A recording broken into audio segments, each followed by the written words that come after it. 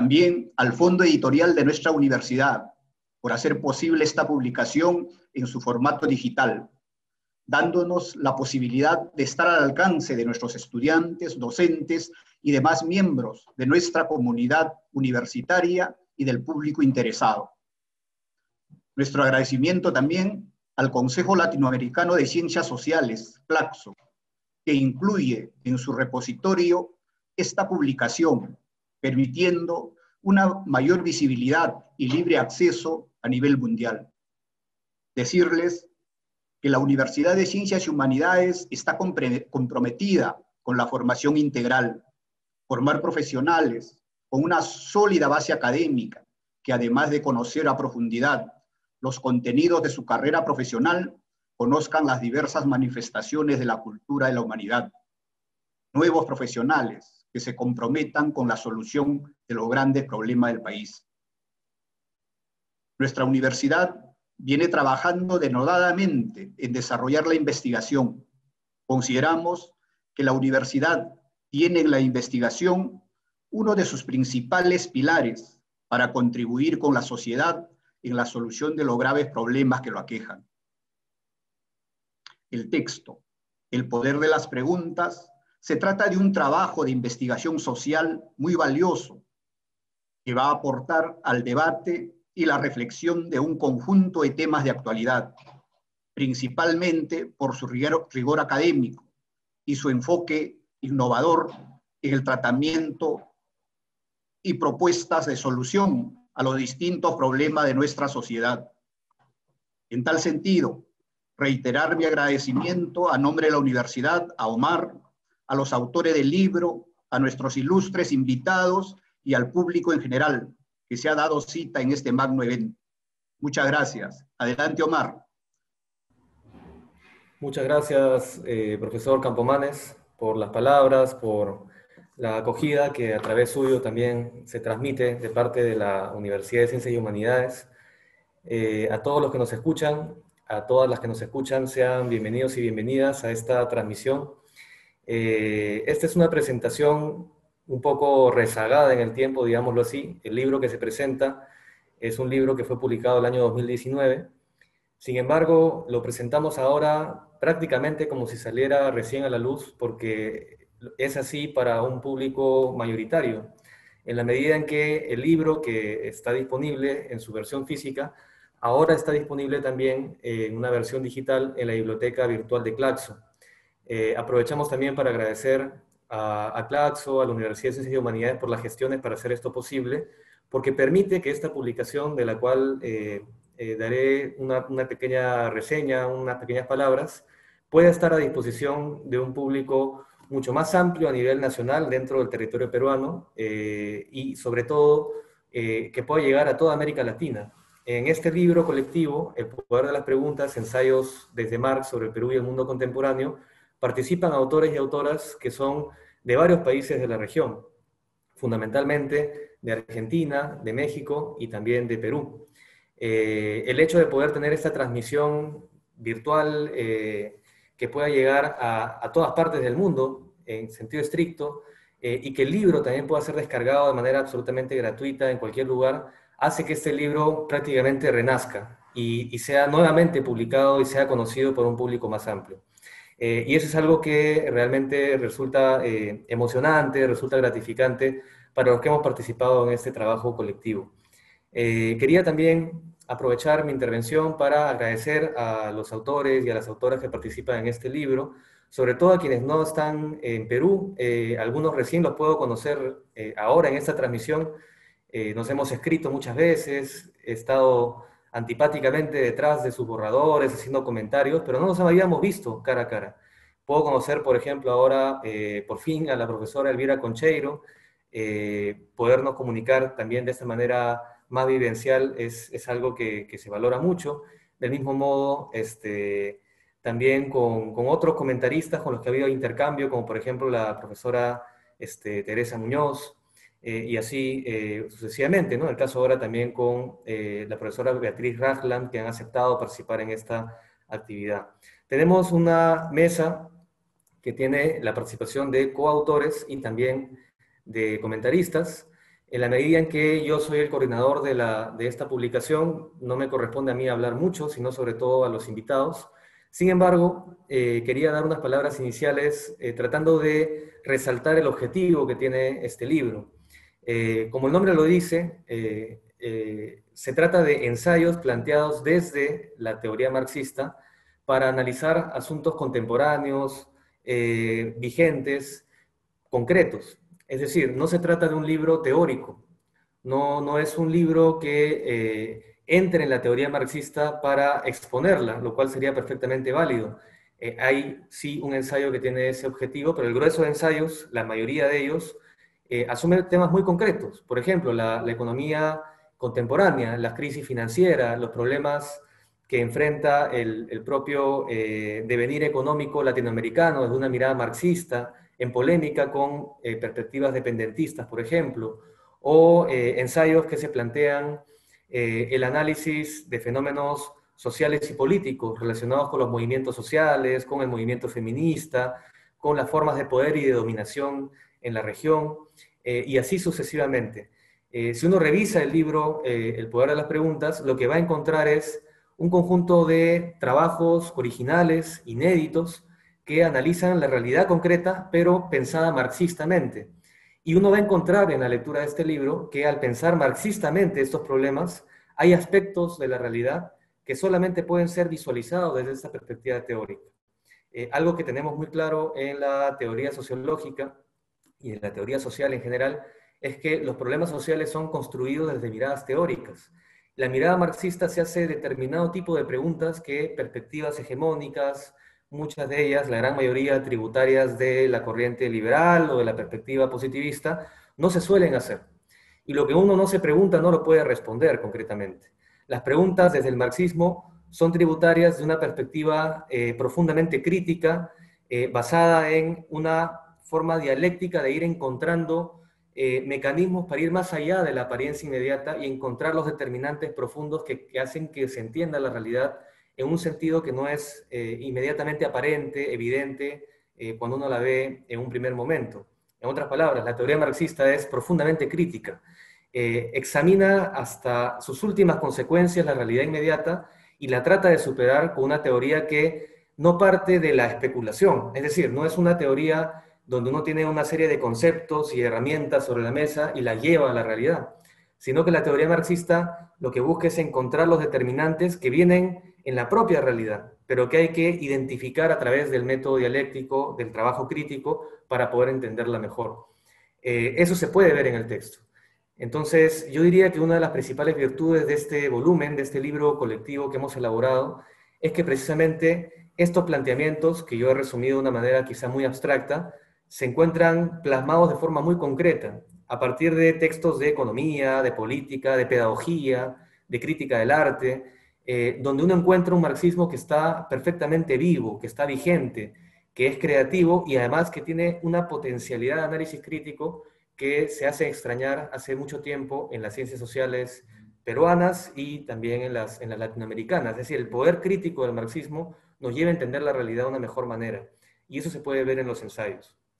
En ese sentido, este es un libro que busca presentar un marxismo vivo, que analiza la realidad concreta, que abre preguntas, que abre debates y que además vincula diversas voces de América Latina. Hay autores, como mencionaba, de México, de Argentina, de Perú, eh, y podría ser este libro leído desde cualquier otra de las latitudes de nuestra región y encontrar pleno sentido, encontrar vigencia. Esa es una también de las virtudes que tiene este libro. La forma en que está organizado es a partir de bloques que analizan diversos temas. Un primer bloque que estuvo a mi cargo eh, le da las herramientas al lector para poder entender la teoría marxista. Por supuesto, esta es, un, eh, es una tarea un, poco difícil de cumplir en un solo ensayo, pero el ensayo busca entender la manera en que Marx razona la realidad y que hace que ese razonamiento eh, pueda sobrevivir, digamos, al propio Marx. Es decir, Marx, como cualquier otro ser humano, tuvo un ciclo de vida, pero deja una teoría y una manera de razonar que puede seguirse desarrollando y que efectivamente se ha seguido desarrollando al punto de que en el siglo XXI tenemos un marxismo vivo y fértil y produciendo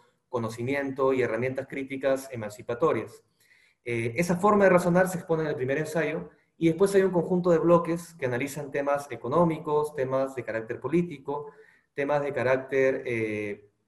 digámoslo así, eh, pedagógico, eh, vinculado al arte, y también hay un balance polémico donde se discute cuál es el análisis que podría hacerse desde una mirada marxista de lo que fue la experiencia del llamado socialismo real, que es la manera de cerrar, digámoslo así, planteando un tema de debate, un tema polémico, para que el debate se alimente y dé lugar a otras producciones y a un intercambio. Eh, por supuesto, cada uno de los autores tiene una perspectiva propia que probablemente no tenga necesariamente puntos de acuerdo al 100% en todo con los demás autores. Es un libro plural, hay diversidad de miradas, pero lo que sí es común es un tratamiento riguroso y serio de la teoría marxista que se aplica a la realidad, que hace pensar la realidad con evidencia de la mano, con referencias históricas, con análisis que yo recomiendo mucho eh, revisar. Eh, eso es básicamente el libro. El nombre, El poder de las preguntas, responde justamente a esa potencialidad crítica que tiene la teoría marxista, que se basa en hacerse preguntas sistemáticamente que alimentan la indagación teórica. Eh, y esperamos que este libro sea eh, tanto útil para la formación académica, la formación en ciencias sociales, a nivel teórico, pero sobre todo, y este es el gran reto que tiene este volumen, que sea también motivo para que la discusión marxista comience a acercarse también con la propia realidad sociopolítica, que los propios actores del cambio social y político, que el propio movimiento social, que la propia clase trabajadora encuentre aquí una herramienta que, como lo plantea la teoría marxista, haga que la crítica pase de ser una crítica contemplativa, meramente externa, a ser una crítica transformadora. Eh, sin más, yo cierro ahí mi, participación y eh, paso a presentar eh, a una de las coautoras de este libro, que es la profesora Elvira Concheiro. Ella es doctora en Sociología por la Universidad Nacional Autónoma de México, institución en la que es investigadora del Centro de Investigaciones Interdisciplinarias en Ciencias y Humanidades y profesora en el posgrado de Estudios Latinoamericanos y la carrera de Sociología. Está dedicada al estudio de la obra de Marx y las nuevas condiciones políticas en América Latina. Dirige la revista Memoria, publicación del Centro de Estudios del Movimiento Obrero y Socialista CEMOS, del que también es directora. Le damos la palabra entonces a la profesora Concheiro para que pueda eh, dirigirnos un, mensaje y una reflexión. Muchas gracias. Muchísimas gracias, Omar. Es un gusto enorme para mí estar esta tarde,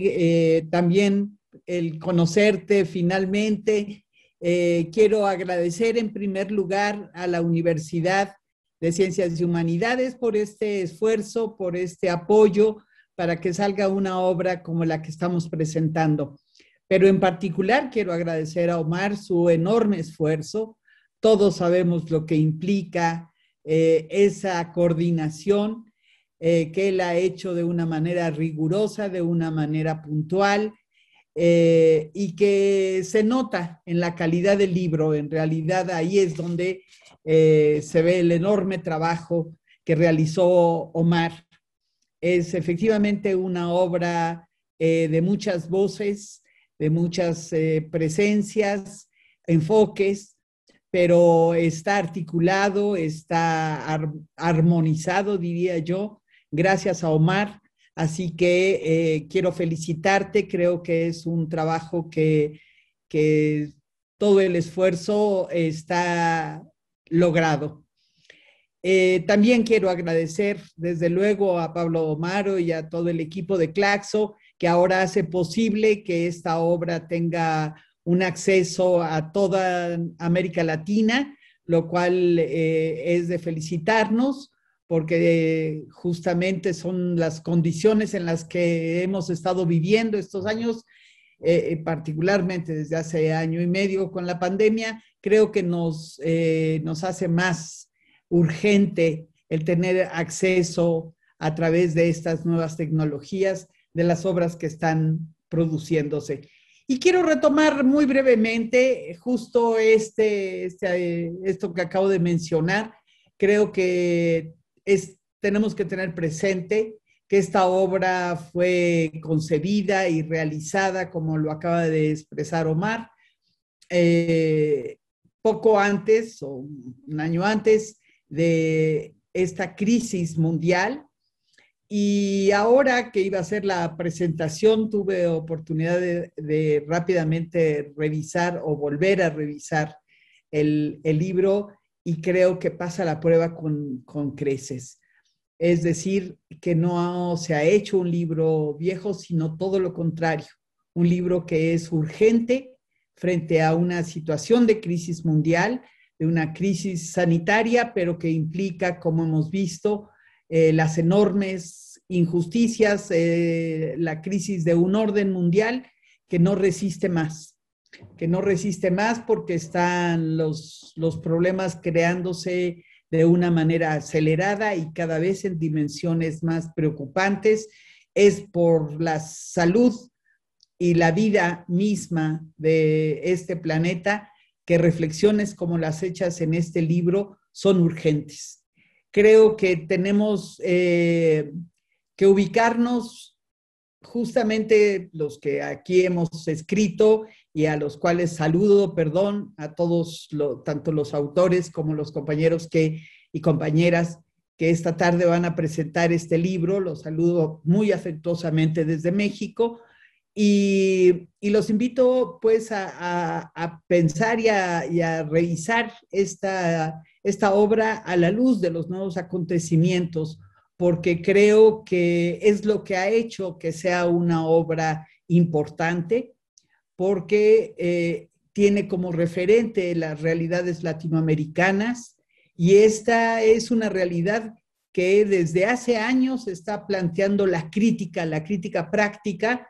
de un sistema y de una organización social que está reproduciendo en escala cada vez mayor las desigualdades y las injusticias, de manera que nuestros pueblos han puesto la, ruta,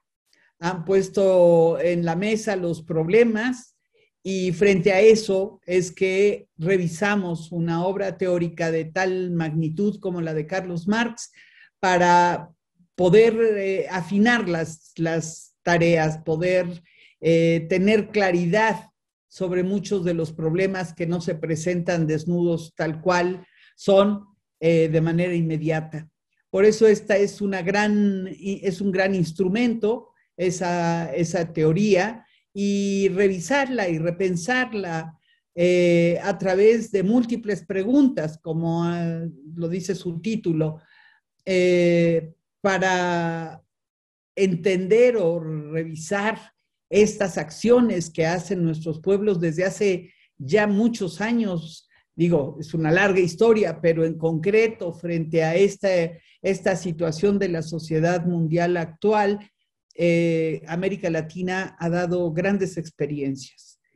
Y en tiempos distintos, a lo mejor ese es el problema, que no ha sido siempre muy acompasado el, el ritmo, pero eh, sí estamos, estamos dando todos los países latinoamericanos una experiencia y una grandes nutrientes para entender de qué se trata la transformación social, eh, cuáles pueden ser las rutas. No, cada, día es, desde mi perspectiva, más compleja la realidad social y las tareas, los retos para su transformación de manera que esta globalización financiera nos plantea un reto que las, eh, las grandes luchas de los pueblos latinoamericanos tienen enfrente. Hoy tenemos que rendir aquí, yo aprovecho yo para rendir un homenaje al pueblo de Colombia, que es el último, no el primero, pero sí el que está en nuestros días dando pruebas de la enorme determinación, del enorme valor eh, sobre todo de los jóvenes latinoamericanos que han decidido cambiar este mundo, que saben que es urgente cambiar este mundo y que eh, no hay otra manera que eh, lanzándose a hacerlo. yo espero que obras como las que hemos escrito en este libro sean nutrientes y sean útiles en estos combates porque tenemos que ser muy inteligentes, tenemos que ser muy aviesos en cuáles son esas dificultades que tiene la transformación y no hay mayor eh, solidaridad que compartir, que compartir los mismos dolores y las mismas afrentas Hoy está toda América Latina eh, sufriendo lo que sufre el pueblo de Colombia. Y quiero desde aquí saludarlos y desde México decirles a ustedes y a todos mis compañeros muchas gracias, muchas gracias por esta oportunidad de compartir reflexiones en un libro que sin duda alguna tiene un enorme valor. Muchas gracias. Gracias, eh, profesora Concheiro. Eh, también me uno a, la solidaridad con el pueblo colombiano, que está sufriendo lo que sufrimos varios pueblos en América Latina, eh, dando cuenta además de una heroica resistencia que, que nos enseña mucho y en la cual nuestros pueblos se van eh, curtiendo, se van cultivando, van aprendiendo y poco a poco van encontrando la propia ruta de su liberación. Eso, eso lo tenemos bastante claro, así que en esa resistencia hay, esperanza de cambio. Eh, le damos ahora la palabra a, eh, a Guido Starosta, quien junto con Rodrigo Steinberg fueron eh, coautores de un ensayo que participa también, que es partícipe de este, de este volumen, de este libro colectivo. Eh, él es doctor en sociología por la Universidad de Warwick, en Reino Unido, investigador del Consejo Nacional de Investigaciones Científicas y Técnicas, CONICET, y profesor titular en el Departamento de Economía y Administración en la Universidad Nacional de Quilmes, en la Argentina. Eh, tienes unos 15 minutos, Guido, para poder exponer. Bueno, eh, muchísimas gracias. Este, buenas a todos y todas. Me sumo a los eh, agradecimientos, obviamente en particular a Omar, este, por la organización de este evento, del libro, por la invitación a participar tanto de la presentación como del libro, y también, bueno, en general a todos los que estuvieron involucrados, los y las que estuvieron eh, involucrados y involucradas en la organización de este, del evento y del libro, que, que presupone un esfuerzo, como se ha señalado, muy grande y también, bueno, mis saludos y agradecimientos a todos los autores y autoras y, este, a todos quienes eh, están presentes hoy para esta presentación. Eh, yo no, digamos, no, no, no, sabía bien cómo encarar este, eh, mi, ponencia, mi, mi, breve presentación para hoy. Se me ocurrió que quizás una cosa que valía la pena hacer es señalar una serie de cuestiones generales inspirados en el título del libro, el poder de las preguntas, ensayos desde Marx sobre el Perú y el mundo contemporáneo, este, tratando de, poner de relieve, ahora voy a volver sobre esto, lo que para mí es, eh, digamos, o lo que implica pensar desde Marx, lo que es el legado este, marxiano eh, y lo que nos deja como herramientas para, eh,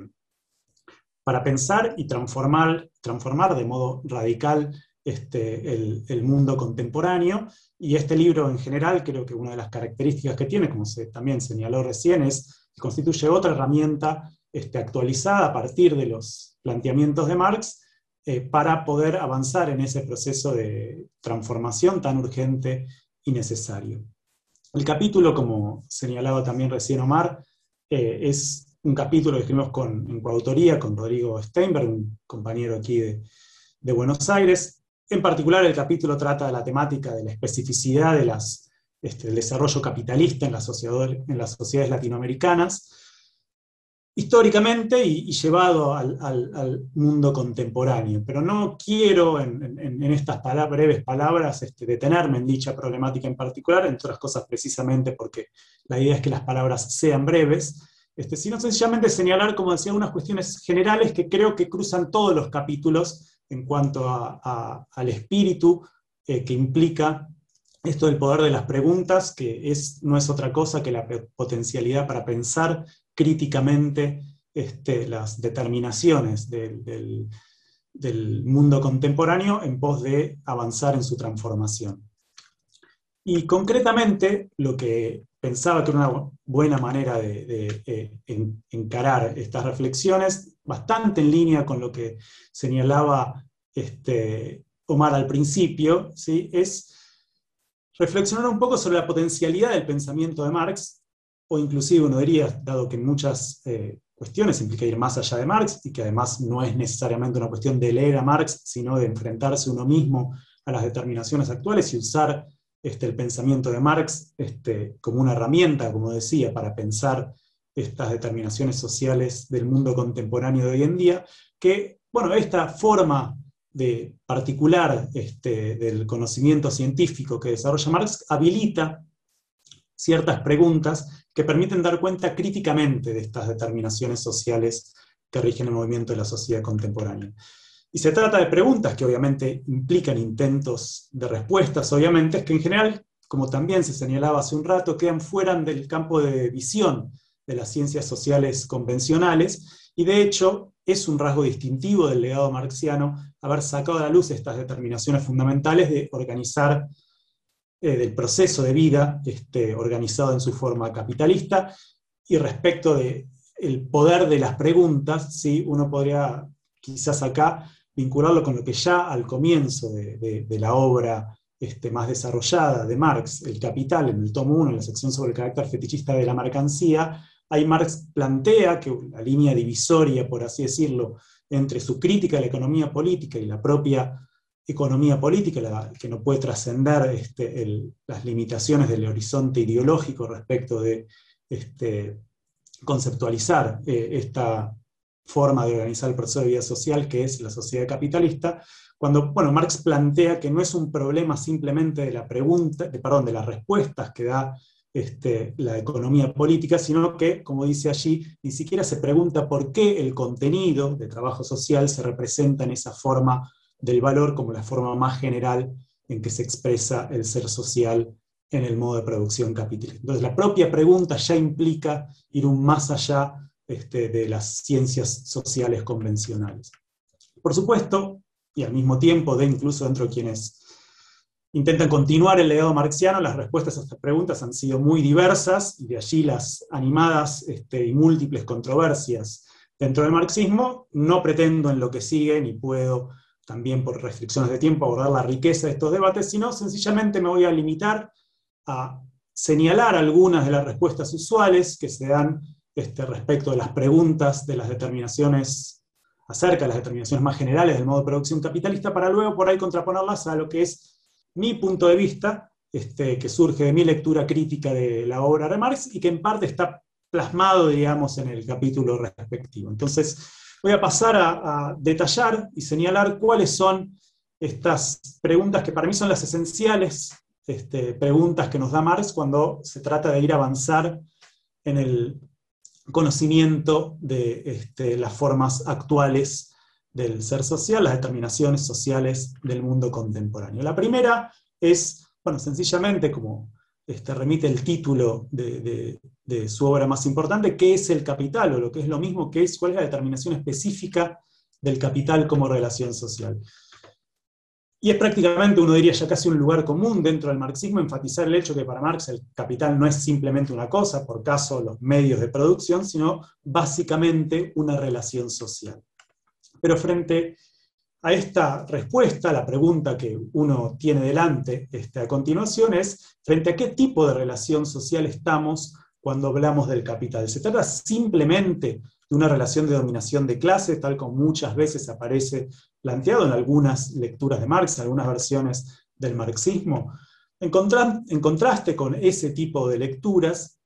yo quisiera poner de relieve lo que para mí este, es uno de los descubrimientos más potentes este, que nos ha dejado el legado marxiano, y es el descubrimiento de que en su determinación más general como valor que se autovaloriza, el capital se trata de una relación social materializada u objetivada entre propietarios de mercancías en particular, que a su vez están diferenciados este, en clases sociales y más concretamente es una relación social que se ha erigido en el sujeto concreto mismo, enajenado, de la unidad del proceso de reproducción social y su expansión. Y esto quiere decir que subsumido este, bajo la forma de capital o bajo la forma capital, el contenido o finalidad inmanentes, enajenados del proceso de vida social, deviene la producción de plusvalor, es decir, más de esta relación social objetivada que se pone en marcha de manera automática con el único propósito de, este, en una progresión formalmente sin límite, poner, producir más de esta relación social objetivada. Y esto quiere decir, en otras palabras, que la expansión del metabolismo material de la sociedad toma la forma invertida de la acumulación del capital total de la sociedad. Y esto es lo que caracteriza la especificidad de la sociedad capitalista, que es un proceso de organizar la vida humana, pero que está o que adquiere la forma de un automatismo sujeto a leyes, cuyo movimiento obviamente se realiza mediante la acción consciente de los individuos, pero cuya unidad general se establece de manera inconsciente a espaldas de la conciencia y la voluntad de los propios sujetos materiales de este proceso de vida social, que somos nosotros los seres humanos. En términos de Marx, este, con una formulación característica, para mí es muy rica respecto de poner justamente de relieve aquellos aspectos ocultos que no quedan en evidencia cuando uno se detiene ante las apariencias inmediatas de la realidad, el planteo de Marx que los seres humanos pasan a estar determinados como personificaciones de estas formas cosificadas de mediación social.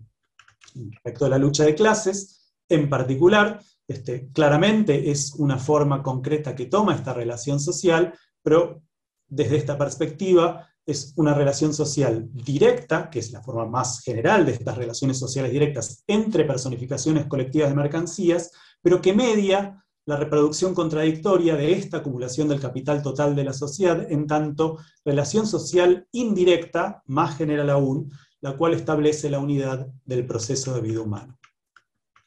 Esta sería la primera gran cuestión, esta constitución enajenada de las propias potencias del trabajo social objetivadas en el producto, este, en el sujeto enajenado de este, la vida social. La segunda cuestión central que hace a esto este, es cuál es el vínculo entre lo que de vuelta, si uno se detiene ante las apariencias inmediatas de esta realidad social, aparece recortado como formas económicas digamos, el mercado, y políticas, la lucha de clases, el Estado, de la sociedad capitalista. ¿sí? Esto que aparece como ámbitos este, autosuficientes o autosubsistentes, eh, en el cual aparece diferenciada y recortada la unidad del proceso de vida social. Y acá, obviamente, nuevamente, las controversias dentro del marxismo han sido numerosas, y evidentemente es imposible en estas breves palabras hacer justicia frente a la riqueza de dichos debates, y simplemente voy a limitarme a señalar lo que de vuelta aparece como el eje de varios, o de los intentos quizás más difundidos por dejar atrás el viejo mecanicismo o economicismo que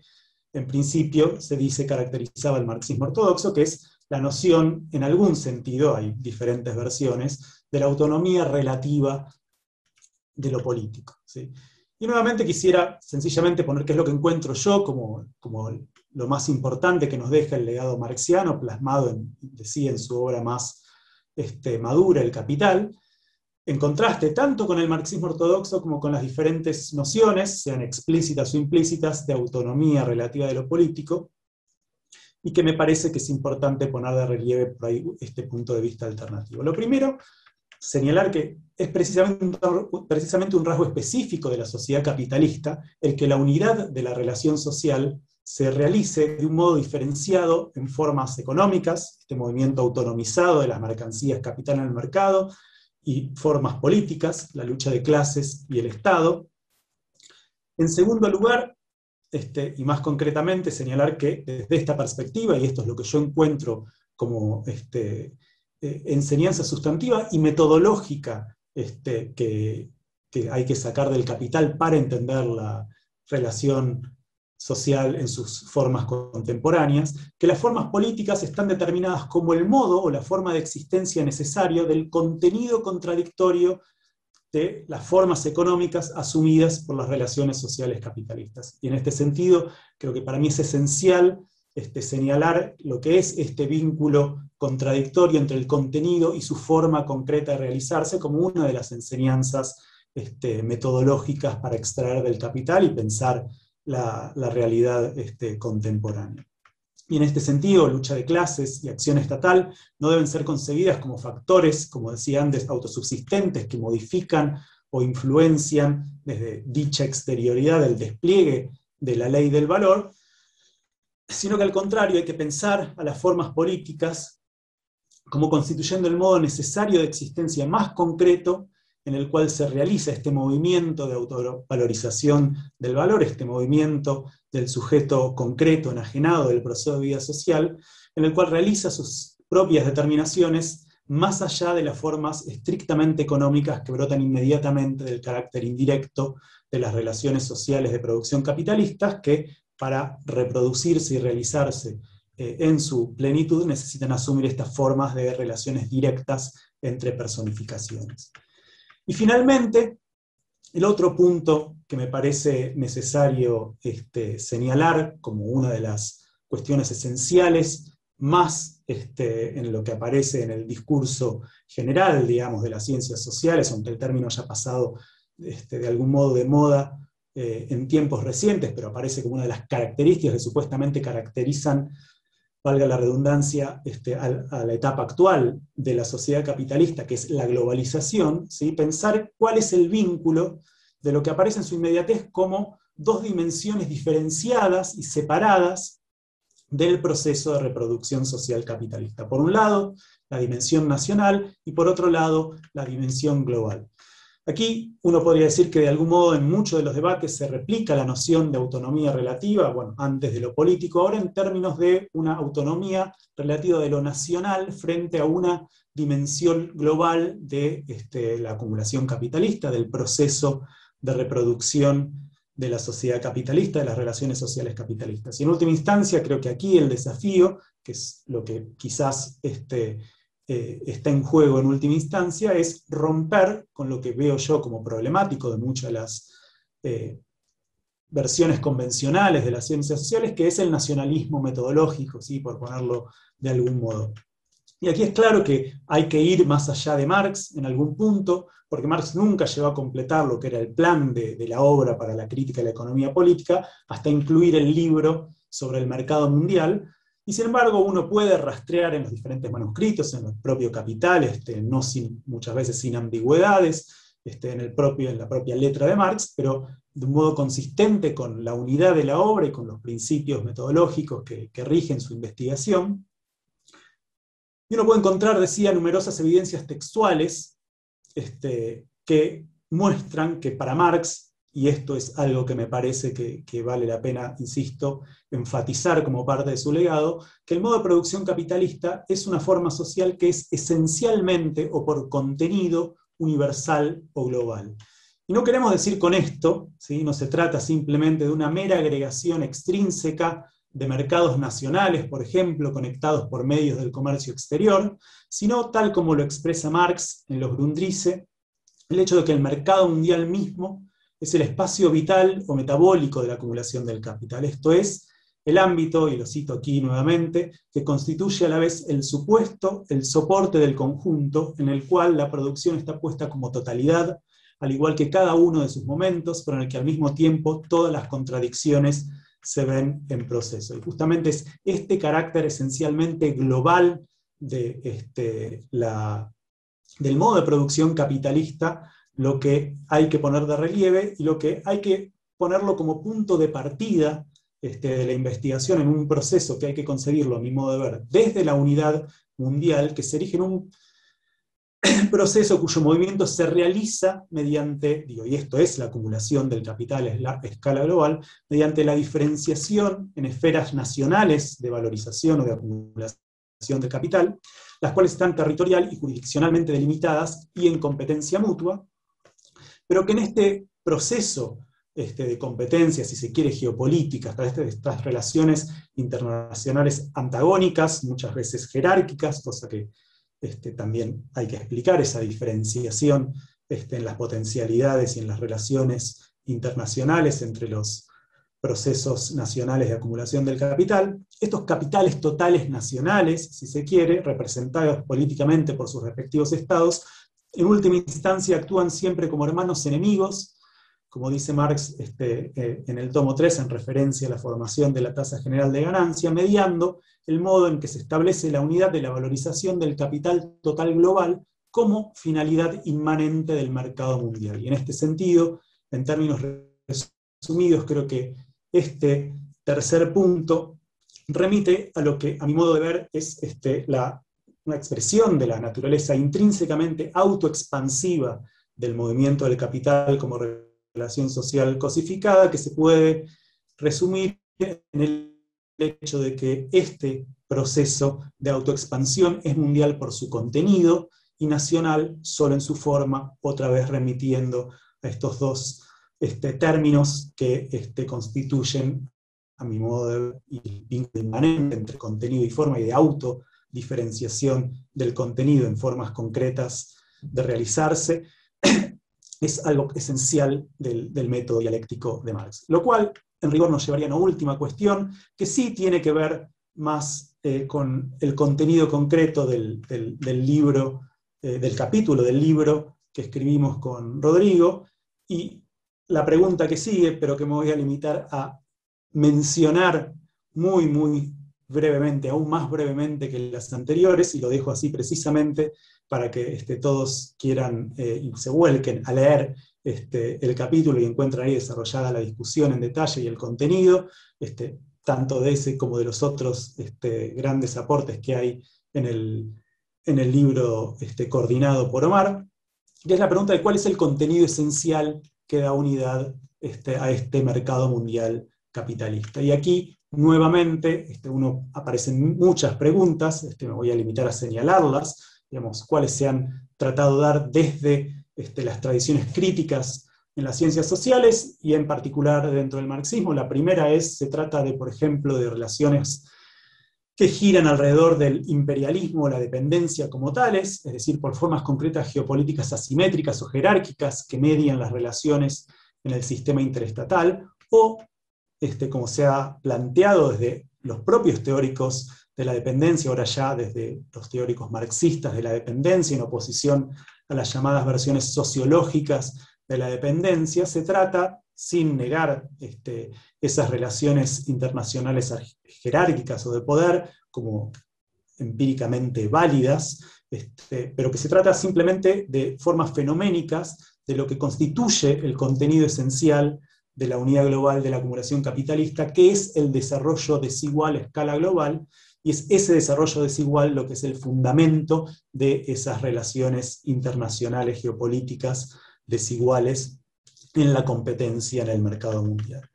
Y aquí la pregunta es, bueno, este, ¿cuál es el fundamento a su vez este, de ese desarrollo desigual? Y las respuestas también han sido varias, discuto varias de ellas, o discutimos con Rodrigo varias de ellas en el capítulo, en particular ahí este, planteamos lo que han sido, a mi modo de ver, las más interesantes que han salido desde la teoría o desde la versión marxista de la teoría de la dependencia, en tanto y en cuanto ambas intentan fundamentar justamente esto, este problema del desarrollo desigual y, la polarización del mercado mundial en, formas diferenciadas, este, cualitativamente distintas, con potencialidades diferenciadas de los procesos nacionales de acumulación del capital, que son la respuesta que da Enrique Dussel respecto del intercambio desigual, la respuesta de Marini, este, donde el fundamento este, de la especificidad de, la proceso de acumulación de capital en los países latinoamericanos está dado por la sobreexplotación, y frente a eso, este, en base a ciertas objeciones y críticas y desacuerdos con, con esas perspectivas, planteo una perspectiva alternativa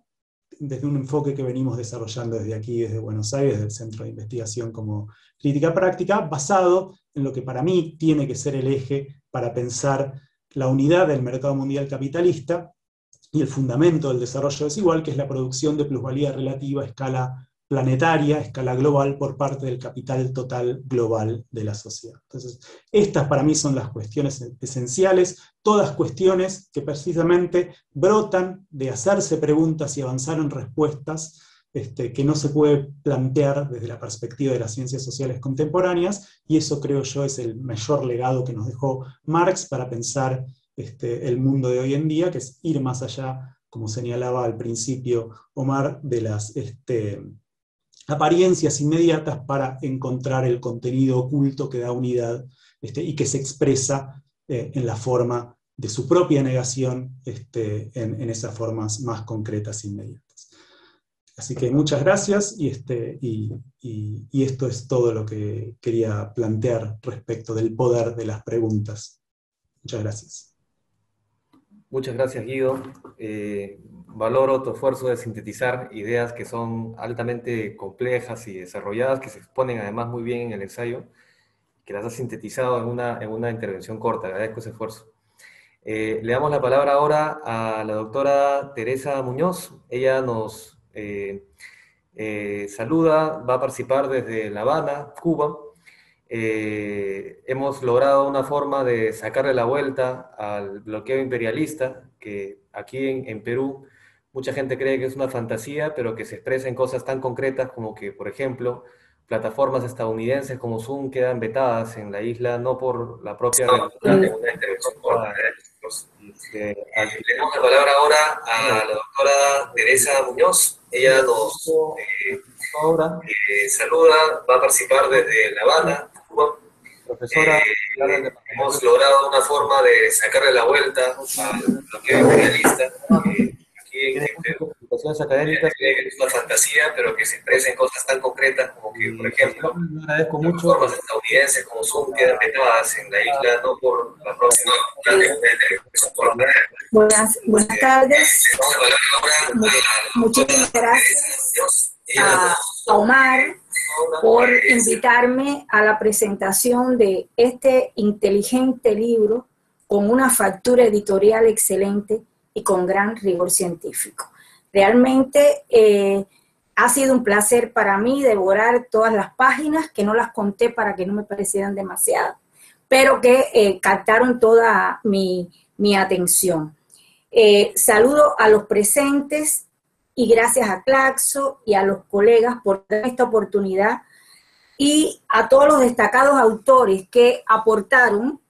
los ensayos que componen este libro para mí original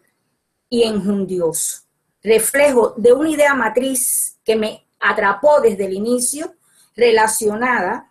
con que el libro nos trae a Mars a pasearse entre nosotros, provocando en, eh,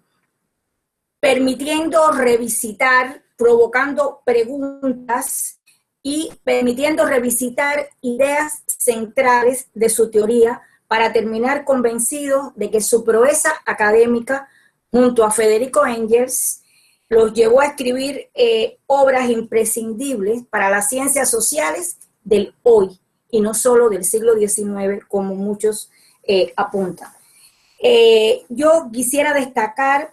que eh, hay las obras de Mar siguen, y hoy los compañeros se han referido anterior a mí, siendo eh, referencia necesaria, referencia necesaria para reflexionar el futuro y el libro en este sentido da un paso adelante y se convierte en un instrumento que le da valor, como su título lo dice,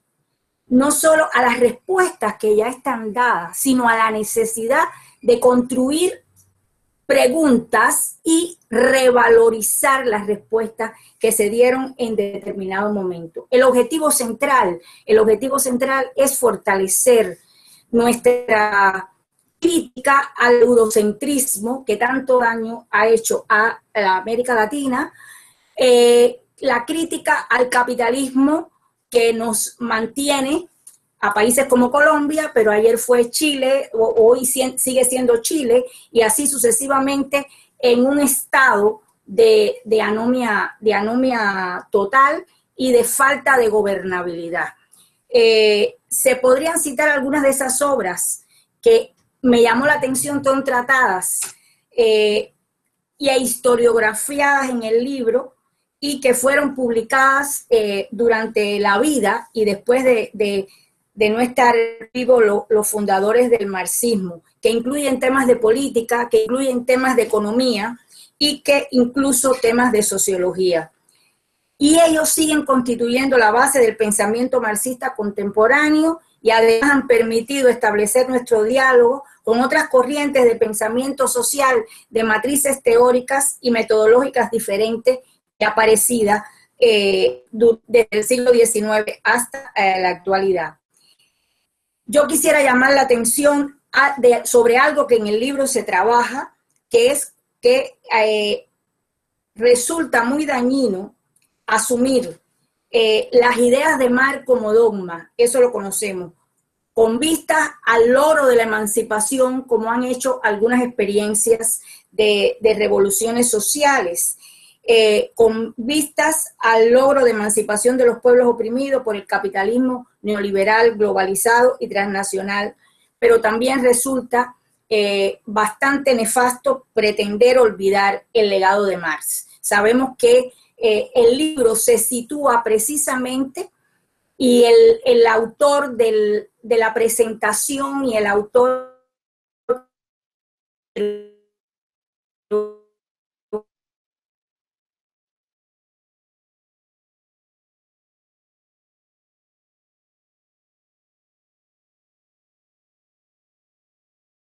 y del primer, del determinado Mars. No, hay, el libro nos da una libertad para ver el mar, el Mars, que eh, a partir de las respuestas que nosotros eh, damos, eh, florece. Yo buscando encontré una cita de un cubano que lamentablemente está fallecido hoy, Fernando Martínez Heredia, Premio Nacional de Ciencias Sociales en Cuba, que viene muy a, tono con lo que se está tratando, porque además tiene el, el genio intelectual de haber trabajado mucho la tradición de pensamiento marxista en Cuba y haber develado todas las variantes o versiones posibles de marxismo que se han eh, eh, eh, desarrollado en nuestro país. Y él en, a finales de los 90 dijo que una ola de triunfalismo recorrió el mundo, el triunfalismo del capitalismo, pero este no logró convertirse en la, en la ilusión de la época el jubileo del 2000 no está en marcha, decía Fernando, porque no hay nada que celebrar. Enfrente, en contra del orden vigente, existen muchos más elementos que los que aparecen a simple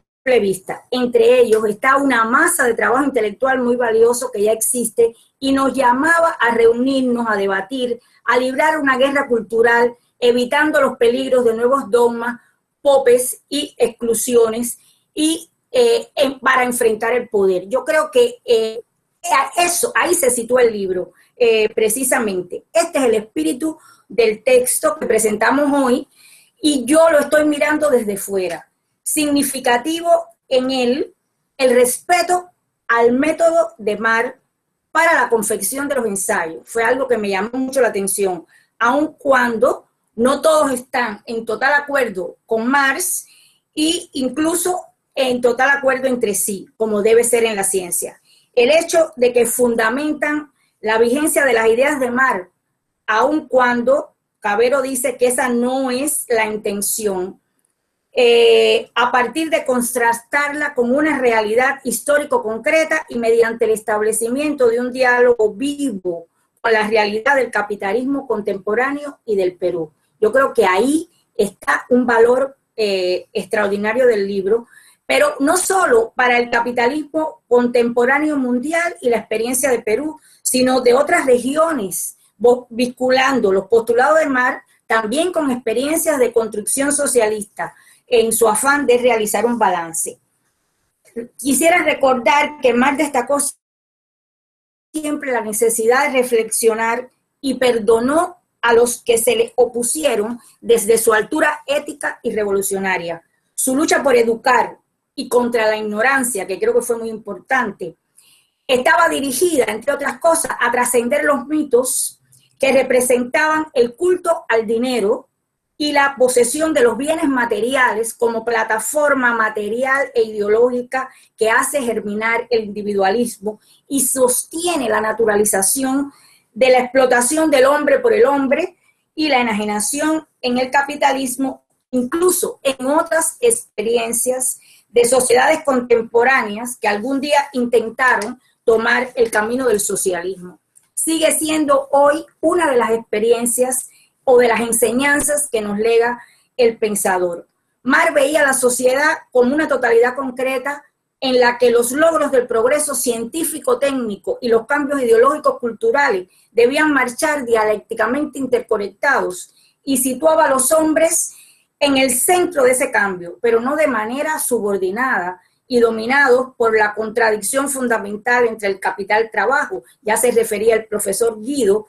a, una de esas las problemáticas relacionadas con eso. y veía cómo la revolución social encerraba un cambio esencial en la naturaleza del sistema y los individuos, que son los que hacen su historia acorde con las condiciones en que desarrollan su vida. De ahí el trasfondo axiológico ético de la teoría de, que, de la teoría que defendieron. Yo creo que ese trasfondo eh, axiológico y ético está transversalizando todo el libro que ustedes gentilmente nos han ofrecido de una excelente obra científica. Eh, como el libro muestra, en la empresa esa que, que timonió Cabero, se involucran los autores y en las cinco partes constitutivas del libro se encargan de proponernos un recorrido que parte, según el primer ensayo, de llevarnos a razonar sobre los fundamentos de la teoría y el método de Carlos Marx a partir de someter a análisis las principales tesis que conforman la lógica seguida por el autor en la construcción conceptual de su teoría y brinda, para brindar al lector herramientas para dialogar y comprender los demás ensayos del volumen. En este sentido es importante destacar que el libro aunque rehuye plantearse la vigencia del pensamiento de Carlos Marx, contribuye a ello, pero de una manera diferente. Y creo que eso, eh, eso se necesitaba. Los autores no hacen copia y calco de la teoría de Marx para aplicarla a las experiencias concretas que estudian. Por el contrario, blanden la historia como brújula para el análisis de las determinantes sociales de los discursos, no la imaginada, sino la historia vivida por los sujetos actuantes, comprometidos o no con el cambio social profundo. No niegan todo el valor teórico, metodológico y práctico de ella, por el contrario, penetran en la lógica seguida en la construcción conceptual de la teoría por el pensador para mostrar cómo se puede seguir pensando la realidad presente en las claves de la teoría marxista. Esto es otra, otro éxito del libro se advierten a través del libro posturas claras acerca del por qué la historia es una variable esencial para la construcción de la teoría y persiguen reconstruir idealmente su movimiento histórico, demostrando cómo, a diferencia de los filósofos anteriores, la concepción materialista y dialéctica de la historia es el punto de partida en la cosmovisión filosófica del mundo de eh, los autores. Los autores nos demuestran estamos ante la presencia de un pensamiento de gran valor para la crítica, creador, vivo, revolucionario. Concuerdo en que el libro nos muestra a través de sus partes que Mary Engel crearon una teoría para la acción, para la praxis revolucionaria, para la praxis política, que contiene un enfoque de la sociedad como una totalidad concreta pensada esencialmente para salir a transformar esa sociedad, algo tan necesario en los momentos, en los momentos actuales. Sobre la base, pero además la transformación no se da solo en el terreno de la práctica política, la transformación se muestra en el libro a partir de la lectura de Marx eh, sobre la forma de construir los conocimientos. Yo creo que eso es otro, metodológicamente, eso es algo importante. Hay que construir un conocimiento como lo dijo Marx, teórico basado en la investigación empírica y valiéndose una, de una crítica radical práctica. Sabemos el alcance de ese concepto. Por tanto, el razonamiento marciano, como afirma uno de los autores, se combina con los estudios empíricos realizados por los pensadores, con sus predicciones, con sus predicciones políticas y prescripciones. Tienen como arma de construcción del conocimiento la crítica, pero una crítica que no es ni lista, ni es una crítica complaciente, está claro, sino una crítica inteligente y eh, tienen como arma del, conocimiento esa crítica que incluye la superación como momento de la negación. Ocurre, a mi modo de ver, en cada uno de los, de los, eh, de los ensayos, un develamiento ajá, eh, de las esencias de los fenómenos y procesos que analizan los autores, de, destacando que no son procesos, destacando perdón, el carácter social y no natural de esos procesos, la interacción entre los hombres y la naturaleza y entre los hombres entre sí,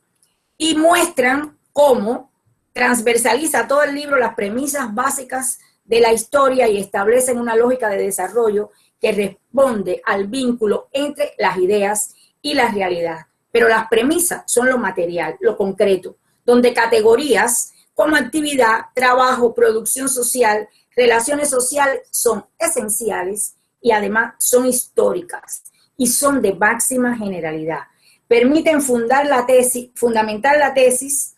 de que lo que somos está condicionado por cómo producimos y reproducimos nuestra vida. En criterio de esta presentadora, una de las atracciones del libro es situar en la lupa a fenómenos y procesos particulares a nivel regional y problemas específicos abordados desde la teoría, pero a través de la universalidad de los conceptos eh, y categorías que el marxismo eh, brinda. Yo había hecho un análisis pormenorizado de cada una de las secciones del, eh, del libro, pero creo que realmente para este tipo de intervención no va a ser necesario. Pero a mí me parece que el libro se mueve en varios eh, espacios de la vida social, desde el punto de vista de las disciplinas científicas que aborda, desde el punto de vista de los fenómenos y procesos particulares, eh, eh, por ejemplo, el, tratamiento ese del movimiento feminista en relación con lo que aporta la teoría marxista es algo muy significativo en momentos en que hay una lucha eh, fuerte, no solo por el cambio social en América Latina, sino también por la emancipación de la mujer, la lucha contra la violencia, o sea, reivindicar que el criticado Marx, desde la perspectiva feminista, también dio un espacio en su, teoría a esa problemática es sumamente importante. Problemas de estética. Los problemas de la estética, de la producción artística, son tratados en el texto. O sea, el texto tiene una gama de, eh, de, de temáticas que realmente complacen extraordinariamente. Por otra parte, conocer a Perú. Yo me, declaro que era bastante, eh, eh, soy bastante eh, ignorante con respecto a toda la maravillosa historia que tiene el Perú. Me he leído más a Perú desde el punto de vista cultural que desde el punto de vista histórico, etcétera, etcétera. Y, y realmente demostrar, o sea, ese libro debía ser imitado por unos cuantos más. O sea, nos debíamos plantear eh, acciones para mirar nuestras realidades a través de esa sugerencia de las, las preguntas y no de las respuestas sobre las que tanto hemos eh, discutido. Y por último, eh, me quiero referir al cierre polémico que tiene el, el texto y que, se expresa por el mismo eh, profesor que hace la introducción a modo de aporte para el debate. Los autores revisitan ideas fundamentales acerca del socialismo recogidas en las obras de Mary Angel, sostienen la tesis que supone perfilar desde Mar las condiciones históricas de posibilidad del socialismo real, discuten el concepto de socialismo real y discuten el concepto de socialismo, algo sumamente interesante y algo de mucha pertinencia para la realidad cubana y donde hay muchas obras escritas en Cuba sobre esa, sobre esa problemática.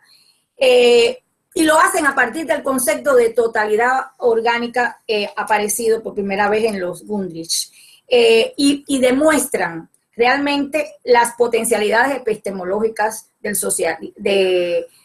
de las posibilidades epistemológicas de este concepto. Eh, tratan aspectos importantes vinculados a la determinación histórica del socialismo, a la tan discutida relación base y superestructura, y eh, para concluir eh, que hay déficit en esta, en esta teoría por su escasa tematización de la construcción revolucionaria el abandono de la centralidad de la actividad social como praxis transformadora y autotransformadora para poner por delante la objetividad técnica y estructural resultante de dicha praxis. Ahí yo añadiría, esas tres conclusiones hay que eh, pasarla por el tamiz de las condiciones concretas en que los países han llevado adelante las experiencias de construcción socialista. Una cosa es leer el socialismo y otra cosa es construir el socialismo y mucho más, y ahora ya voy a hablar de Cuba, desde las condiciones de un país subdesarrollado y bloqueado por más de 60 años, que ha sido una angustia para mí hoy poder tener el placer de estar eh, con ustedes. Eh, eso es lo último que quería, eh, que quería señalar y decirle que realmente agradezco extraordinariamente la invitación eh, es un tema eh, apasionante. El libro tiene una factura editorial bella, está escrito con un rigor científico, hay un análisis historiográfico, aun cuando hay cuestiones que quizás debiéramos seguir debatiendo. Yo felicito a todos los autores, he aprendido en, esta, en este ejercicio y le doy las gracias por haber podido compartir este, este día de hoy con ustedes y especialmente a Cabero, que se le metió en la cabeza que yo de todas maneras estuviese en este, en este encuentro. también quiero agradecer a Edward y a su, a su ayudante porque han, se han esforzado muchísimo para que esta cubanita pudiera aparecer en las redes. Muchas gracias. Muchas gracias, eh, profesora Teresa Muñoz. Quedamos muy complacidos con sus comentarios. Sinceramente es una alegría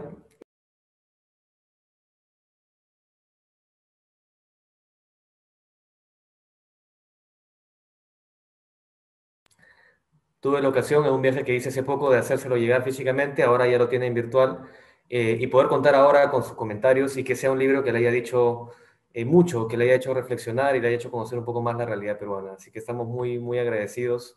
eh, y también complacidos de haber podido sortear las dificultades tecnológicas para que esta transmisión sea posible. Es, es, ha, sido, ha sido un logro realmente. pasamos ahora entonces a escuchar los comentarios de Beatriz Rajlan, ella es doctora en Derecho Político por la Universidad de Buenos Aires, UBA,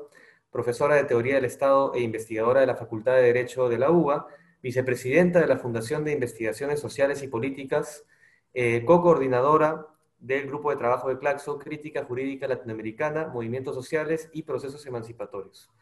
Eh, bienvenida, profesora Rajlan. Tiene 15 eh, minutos para sus comentarios. Bueno, buenas noches a todas, a todos, a todos, a todes. En primer lugar, un agradecimiento por esta invitación tan este, cordial eh, a un libro que nos interpela desde el propio título, ¿no? Desde el propio el poder de las preguntas. Este, ese, eso es un desafío para, para los que lo hemos leído y un libro que integran eh, investigadores de Perú, de México y de Argentina. En primer lugar, yo quiero eh, solidarizarme también con el pueblo con la lucha del pueblo colombiano eh, y también expresar mi, mi, gusto porque se haya podido solucionar la posibilidad de la intervención de la compañera de Cuba que, este, como se ha dicho acá, este, el bloqueo impide muchas veces que podamos compartir. Así que los felicito a ustedes por haber logrado este, eh, superar, digamos, esta dificultad. Bueno, en, mi intervención yo voy a hacer referencias generales al objeto del libro, es decir, que, está en el conjunto del libro, eh, y particulares respecto de un trabajo que eh, empatiza con mi quehacer cotidiano en investigación y práctica política, que es el de Elvira Concheiro, que hoy nos acompaña. Eh, es importante la tarea cometida en este importantísimo libro, 200 años del nacimiento de Carlos Marx, el filósofo, el economista, el teórico de la política y de la revolución, el más profundo analista crítico del sistema capitalista, el militante por la unión de los trabajadores en pos de una sociedad distinta, antitética del capitalismo, por una sociedad comunista, sin explotación del hombre por el hombre. Se afirma en la presentación del libro que, cito, la presente publicación se ubica en ese ánimo de tejer puentes dentro del marxismo y de acercar esas reflexiones a las organizaciones sociales y políticas. Por ello, antes que centrar su atención en argumentar la vigencia de Marx como si, como si hacer marxismo hoy fuera un comenzar de cero, el énfasis ha sido puesto en presentar a un marxismo vivo que se enfrenta en la realidad con la realidad concreta. Yo este, eh, apruebo, digamos, estoy de acuerdo con esto, pero creo que no son antagónicos y que categorías eh, vigentes del marxismo y realidad concreta es la síntesis marciana. Hablamos de la vigencia del análisis de la sociedad capitalista más agudo y profundo que se haya llevado a cabo hasta la actualidad, el que desentraña y devela su estructura más íntima y sustancial. Dice Concheiro, se trata aquí esencialmente de esclarecer las posibilidades de la acción política emancipadora en un mundo dominado por la ley de hierro del capital, encrucijada en la que no pocos de los países de nuestra América se han encontrado y frente a lo cual no ha habido alternativa clara y exitosa. Hasta ahí la cita. Estamos convencidas que en esta época tenemos que hablar de Marx y la política, porque lo que queremos poner en primer plano es la construcción de alternativas, la necesidad imperiosa de la construcción de alternativas antisistémicas revolucionarias. Bien afirman Marx y Engels que, cito, para nosotros el comunismo no es un Estado que debe implantarse, un ideal al que haya de sujetarse la realidad. Nosotros llamamos comunismo al movimiento real que anula y supera al estado de cosas actual. Movimiento real, dialéctica pura. ¿Cuántos errores se cometieron por no practicar esta noción de eh, que estas propuestas actúan sobre la realidad, pero surgen de ella y no a pesar de ella? Lo común es común que se considere que el marxismo eh, o la teoría marciana es fundamental y principalmente una teoría económica, aceptando en todo caso su conexión con la problemática política y filosófica. Esta opinión deriva en gran medida de la eh, envergadura de su obra más significativa para el conocimiento y crítica del capitalismo y del capital como relación social, que, a la cual ya se han referido varios, que es el capital. El error es justamente considerar que el capital es una obra económica, cuando en realidad es metodológica, dialéctica, política, filosófica y obviamente también economía, económica. Constituye la base para explicar el origen del excedente económico en el capitalismo y fundamental la necesidad de la revolución proletaria, no por, eh, por simplemente por explicar el origen del excedente económico, lo que eh, concilia con la tesis 11 sobre Feuerbach. Y es que Marx y también Engels concibieron siempre la economía como economía política. Marx y Engels no podían dejar de ocuparse de las dimensiones políticas, tales como el poder, el Estado y sus instituciones, el ejército la política tributaria y la deuda pública. Tema al que se refiere también Concheiro, argumentando su desacuerdo con esa mirada economicista sobre el marxismo. Dice, cito, posibilidad de una lectura abiertamente política del capital, entre otras cosas. Coincidimos. También se suele afirmar que en Marx no hay una teoría marxista del Estado, tema sobre el cual tenía proyectado, como todos sabemos, realizar un tomo, objeto que no alcanzó por su muerte. No hay una obra efectivamente que esté sistematizada, en que esté sistematizado el tema del Estado, pero eso no significa que esté ausente, sino que la temática está permanentemente presente en el conjunto de su obra. No vamos acá a enumerar en cuáles y todos las conocemos. Igual pasa con la teoría política. Además, digamos que a lo largo de su obra teórica, la labor de Marx no fue solo teoría, y esto es importante, la labor de Mar es conjunción de teoría y práctica efectiva del ejercicio de la política, cuestión que está presente abundantemente en este libro que estamos comentando. Y coincidimos también con Conchero cuando afirma que hemos querido centrarnos en el capital para mostrar que la manera de entender la dominación, más allá de sus apariencias o de sus reflejos, es la que nos propone Marx en esa obra y cuyo eje es lo que hemos llamado perspectiva de la totalidad histórica. Desde ahí podemos analizar la dominación como una relación específica por tratarse justamente de un fenómeno que, al tiempo que emana esencialmente de las relaciones materiales de producción, aparece de la mano de hechos jurídicos y rápidamente impacta el conjunto social, el, propio conjunto social. Se trata entonces de una nutriente esencial del Estado, entendido este en su acepción leniniana, de síntesis de la sociedad o en términos gramscianos. Y a continuación desarrolla la cuestión de la dominación con eh, total solidez a nuestro criterio.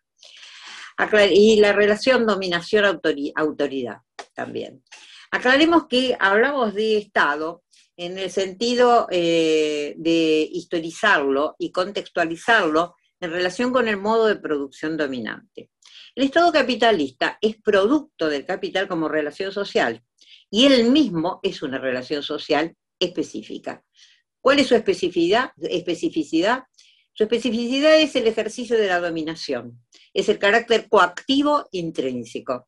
Pero el Estado capitalista, al mismo tiempo, es un espacio de lucha disputado por las clases subalternas. Es, por tanto, un lugar de la lucha de clases, lugar de disputa total, se expresa en el concepto complejo de tomar el poder, pero también de disputas parciales con triunfos y derrotas.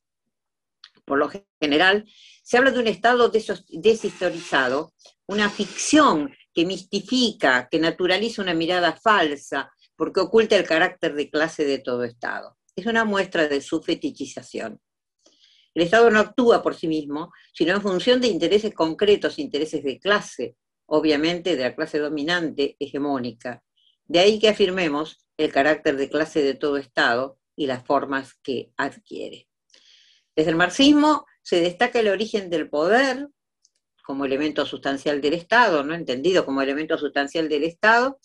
en el ámbito de, no estatal del poder que constituye el Estado. O sea, que el poder se genera por fuera del Estado, en el ámbito de lo conocido como privado, y se torna público a través de la institución Estado,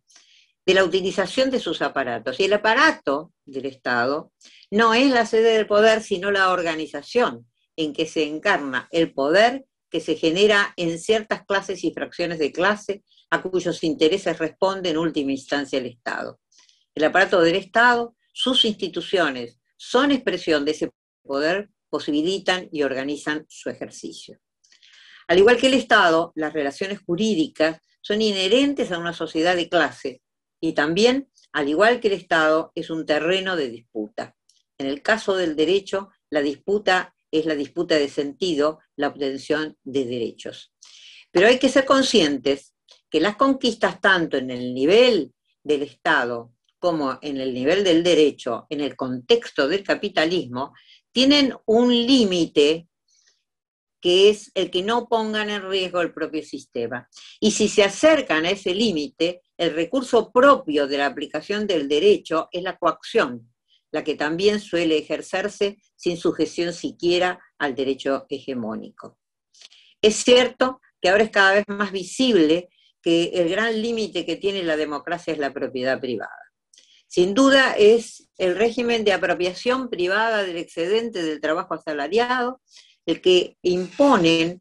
un sentido utilitario y mercantil a las relaciones políticas. Eso nos dice Concheiro.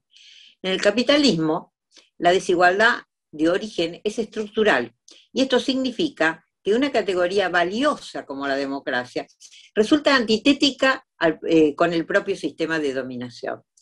Suele llamarse democracia o democracia representativa al ejercicio eh, periódico de concurrencia a la designación de representantes, falacia de manipulación de la democracia que intenta homonimizar representación y democracia. Verdaderamente la naturalizan instituyendo o arrinconando esa categoría tan valiosa que es la democracia a mero procedimiento y no como significación sustancial. Hablar de democracia en general ha llevado a una ambigüedad y en este sentido pensamos que la democracia ha sido bastardeada. Se le ha tratado de quitar sustancia, se la ha relacionado solo con los aspectos institucionales de la política. Algunos han intentado tomar la democracia como una especie de red solidaria. El resultado es una democracia anémica, ah, porque está basada en un modelo de sociedad que consagra cotidianamente la desigualdad real, más allá de las formulaciones retóricas. Consideramos que la crisis de las instituciones de la democracia representativa que es crisis de la teoría de la representación, es parte de la crisis global, económica, social, política, civilizatoria. También se transforman en sentido común y se desdibuja la verdadera esencia del problema, que son las relaciones de producción dominantes, que no admiten un funcionamiento democrático, porque sería una contradicción en sí misma, siendo que la imposición de las relaciones de explotación necesitan de violencia implícita o explícita y de generación de consensos desde el poder y no producto del funcionamiento democrático de la sociedad.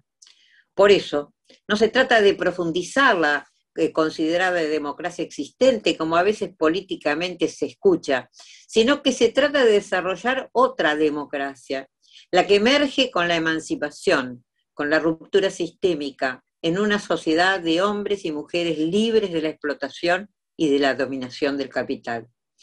Las categorías descubiertas y desarrolladas por Marx para su análisis son las que nos permiten incursionar en el denominado capitalismo de época. Esas categorías se encuentran presentes en la sociedad actual con las características propias del capitalismo de época. Algunas se expresan en forma diferente, las más se han profundizado. Marx ha hecho la crítica de la economía política, de economía política pensada como ciencia de la burguesía y del capitalismo, porque es su legitimación y por eso esa insistencia en la crítica de la economía política. Esa crítica es a la propia argumentación para construir la fuerza social y política del cambio anticapitalista. Nos encontramos actualmente con una mercantilización creciente y sobre todo con una brutal ofensiva del capital contra el trabajo. Cambios impuestos o que se intentan imponer ante la resistencia de los trabajadores, concernientes a distintas formas de expresión del trabajo y que conducen a la precarización y desregulación del trabajo, a la aplicación de normas flexibilizadoras de horarios y tareas, a la desindicalización, a la imposición del trato por empresas, a la insolidaridad que profundiza la explotación de la fuerza de trabajo, la desocupación, la exclusión del mercado de trabajo y el abandono de conquistas de los trabajadores y trabajadoras a lo largo de más de un siglo. En consonancia, se impulsan a escala global leyes de reforma laboral, reforma tributaria y reforma previsional que rebajen derechos a los trabajadores y privilegien la clase dominante. Y esto es a lo largo de toda nuestra América. Dice Camille Chalmers, la teoría marxista ofrece la posibilidad de entender las contradicciones del mundo actual y los procesos de acumulación capitalista. Necesitan del trabajo gratuito de las mujeres, de la sobreexplotación de la naturaleza, y de los bienes naturales y la sobreexplotación de los pueblos del sur, además de la sobreexplotación del trabajo en general. En efecto,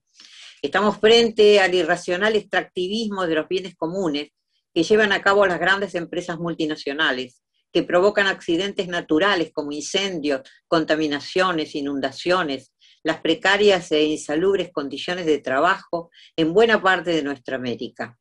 talleres clandestinos con prácticas de verdadera servidumbre, las maquilas, el, desarraigo de la migración, el aumento de los y las pobres y de los, los y las indigentes, entre las cuales buena parte son niños y niñas. Es necesaria, hay necesidad de cambio, de ruptura con el sistema económico político, social, cultural, patriarcal, capitalista, que oprime y sacrifica en su altar a trabajadoras y trabajadores, hombres, mujeres y diversidades. Porque no es al interior del capitalismo que podemos resolver la emancipación humana, ni tampoco por transformaciones desde el Estado destinado a desaparecer en una futura sociedad sin clases, ni como piensan diversos sectores reformistas a través de modificaciones en el derecho. Es con la lucha que se consiguen reivindicaciones, resistencias, nuevos derechos, pero solo la lucha antisistémica es la que conduce al cambio social. Hay que comenzar por invertir el sentido de las creencias que alimentan el famoso sentido común. Es imprescindible para poder encarar el proceso de ruptura revolucionaria, elaborar y profundizar el debate de ideas sobre las condiciones de la transición, que considere que las reformas a encararse para que no queden en el sostenimiento del sistema, deben tener un horizonte revolucionario, como tanto argumentaba Rosa Luxemburgo. Y sobre todo, superar la crisis de alternativas a nivel de la organización y de la conciencia subjetiva, anticapitalista y naturalmente antipatriarcal, desnaturalizando lo que la manipulación ideológica y política ha hecho aparecer en el sentido común como natural, el capitalismo, la explotación, la pobreza, la desigualdad. Hace falta la acción política, ya termino, junto con la acción social y gremial y la preparación teórica y práctica para los debates ideológicos a encarar para que el develamiento de la situación de explotación confluya con la profundización del análisis crítico de nuestros tiempos actuales. El socialismo y el comunismo son nuestras utopías necesarias y realizables y diría que es urgente, civilizatoriamente, transitar el camino hacia esos objetivos. Marx está vigente y dispuesto, y dispuesto para estas urgencias. Nos tenemos que preguntar, ¿nosotras y nosotros lo estamos? Es un desafío. Este libro sin duda es una enorme contribución a ese desafío. Muchas gracias.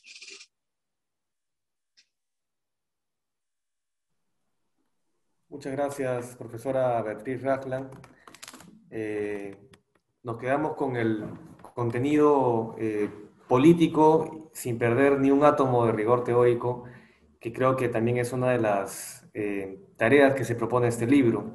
que es que en la medida en que desarrollemos una crítica, un trabajo teórico de alto rigor, y lo hagamos con una concepción emancipatoria, con una apuesta emancipatoria, estamos apostando de una manera muy concreta, de la mejor manera en que el marxismo podría apostar,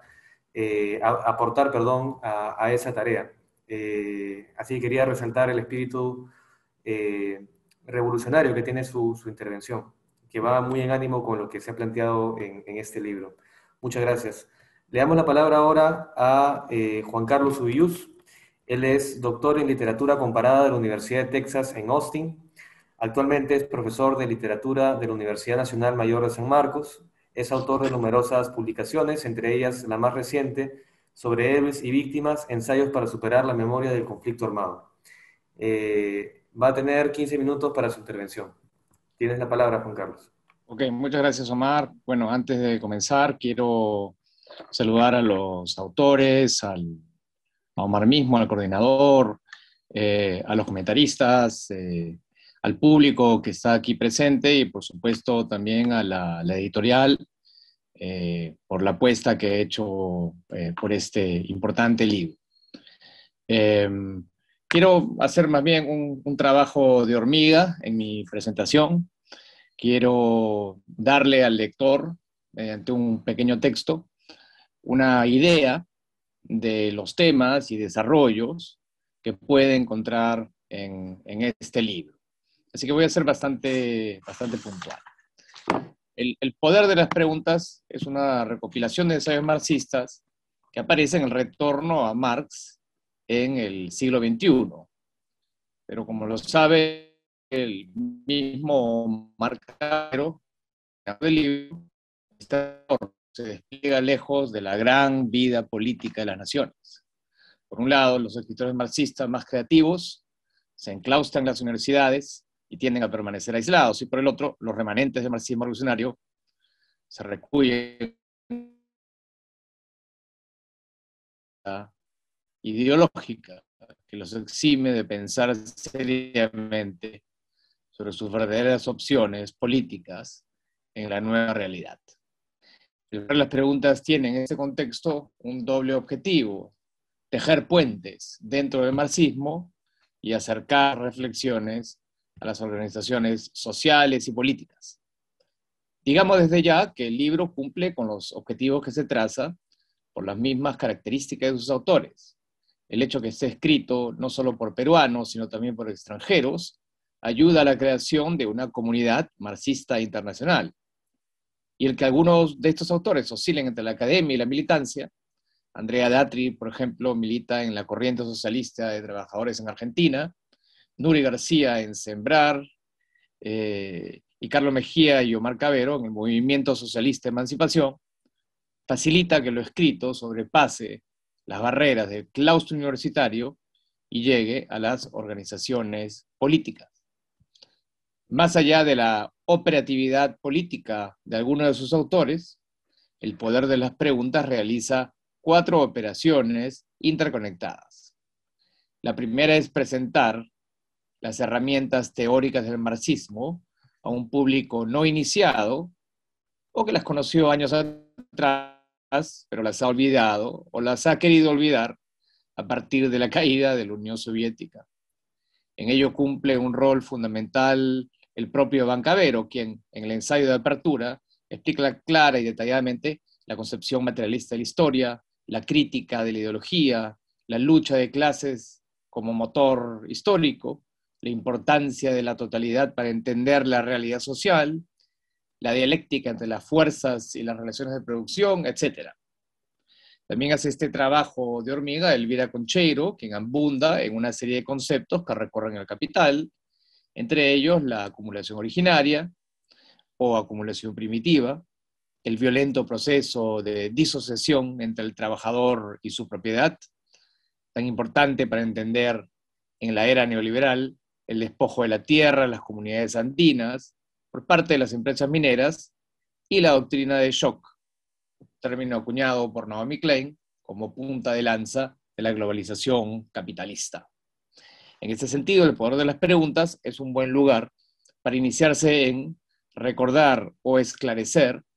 unas poderosas herramientas teóricas que, sin embargo, están sujetas a reelaboraciones con el tiempo. La segunda operación consiste en demostrar la utilidad de estas herramientas para hacer inteligible la historia local y global que ha constituido nuestra realidad. Así, el ensayo de Carlos Mejía se sirve de la lucha de clases para analizar la actividad sindical peruana desde el siglo XIX hasta hoy. Jean Lust apela a la versión marxista de la teoría de la dependencia para elucidar el por qué seguimos siendo subdesarrollados con respecto al norte global, y Guillermo Rochabrún recurre al materialismo histórico para contar una nueva historia del Perú que ilumina la particularidad de nuestra dominación colonial y sus remanentes.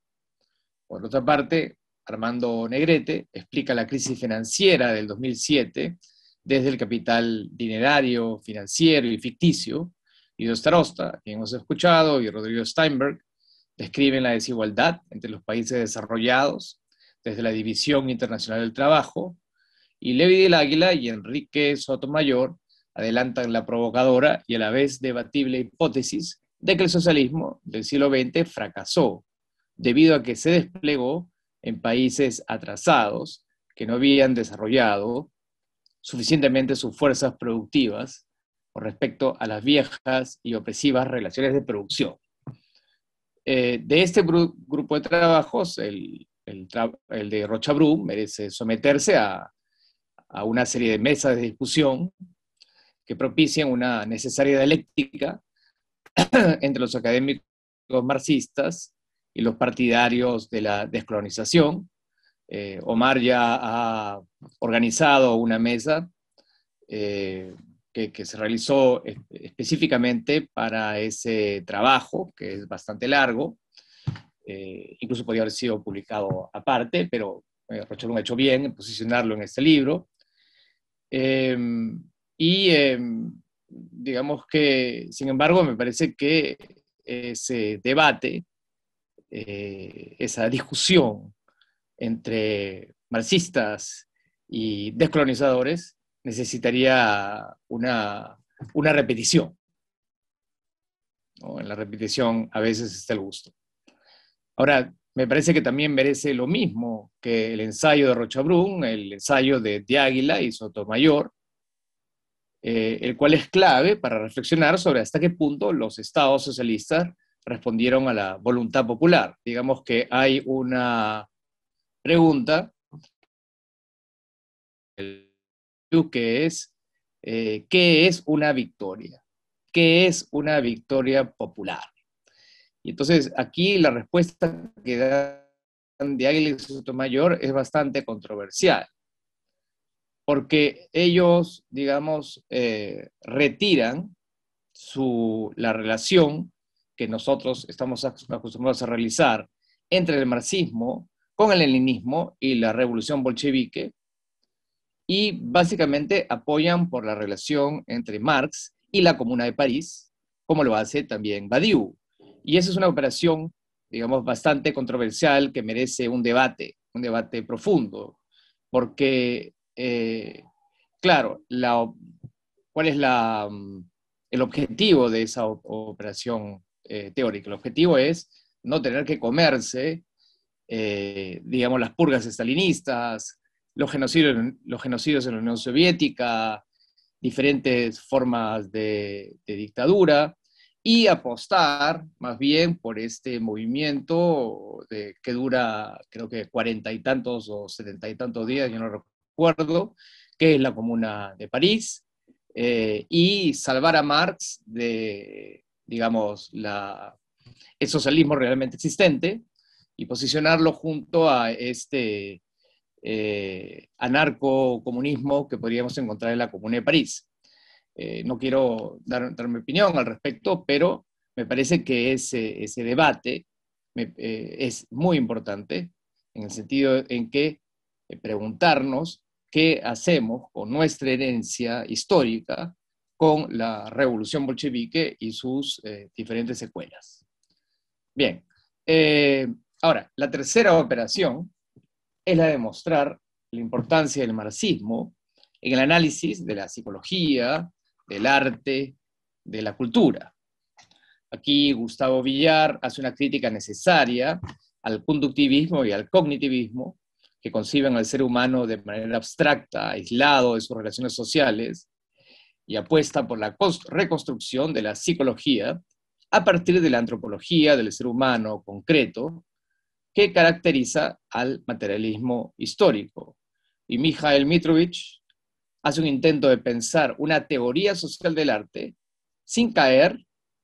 en la estética idealista que identifica el arte con la desalienación, o sea, la liberación, ni la crítica tradicional marxista que establece la relación entre la obra de arte y la clase social, es decir, el viejo juego comisarial de ¿es esta obra burguesa o proletaria? Para determinar si la obra es eh, reaccionaria o revolucionaria. Este es quizás el momento más inventivo del libro. La teoría social del arte, cuyo origen se encuentra en un trabajo de Mirko Lauer de los años 80, intenta interpretar la forma artística más allá del contenido o de los rasgos estilísticos. Así, un pintor puede representar favorablemente al proletariado de manera vanguardista, pero en su respeto por la forma cuadro, revela su pertenencia a la sociedad burguesa, porque digamos que la forma cuadro está hecha para que sea comprado y sirva de decoración en, eh, en alguna casa que tenga el poder económico para pagarlo. Bien, la cuarta y última operación implica establecer un nexo entre el marxismo y los movimientos sociales contemporáneos. Nuri García, por ejemplo, abunda en la necesidad de hacer dialogar a la política de clase moderna con el deseo posmoderno de proteger y o expandir